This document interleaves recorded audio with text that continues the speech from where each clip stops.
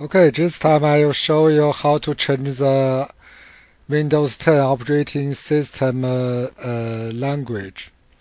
So from here you can see it is uh, English right now.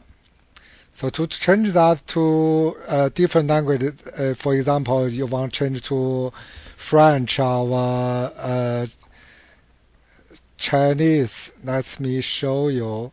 So you click the Windows icon, Start, then go to the Settings. Then there is a time and language. Click that. Go to language. So the Windows display language right now is English. So if you want to change to Chinese, you need to add preferred language. You need to add Chinese language here. Okay? You can find the language here. For example, if you add this one, click next. If You will set it uh, as default language, as my display language. It will set it as a di uh, display language.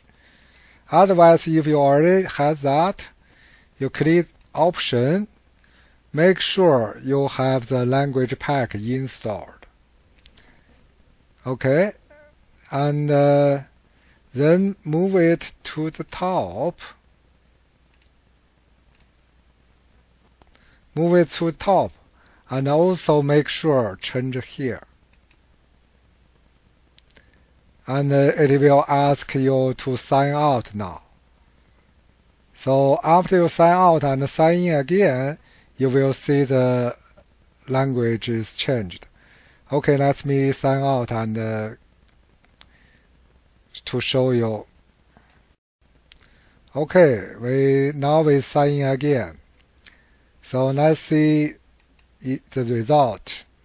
We click start, we click the setting, and now you see the language already changed to Chinese language. Hope you enjoy this video and have a nice day. Bye bye.